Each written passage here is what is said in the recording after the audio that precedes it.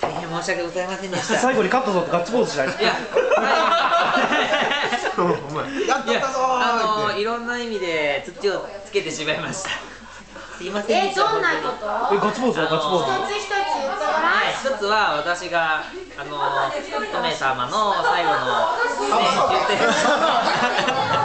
最後の最後の日に足を引っ張って土をつけたのは私です。どんな？